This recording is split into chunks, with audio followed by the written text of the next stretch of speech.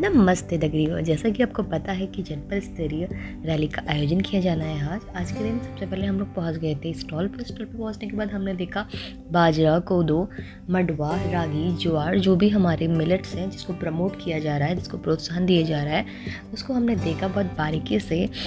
दोस्तों, जैसा कि आपको पता है कि पहले पहले टाइम पे परंपरागत रूप से इन्हीं का इस्तेमाल किया जाता था बट अभी क्या है, वो धान और गेहूँ जो है, उसका इस्तेमाल किया जा रहा है। तो अब इनको प्रमोट करने के लिए बहुत सारी रैलियाँ, बहुत सारे मेले का आयोजन किया जा रहा है उनमें से ये भी एक मेला ही है।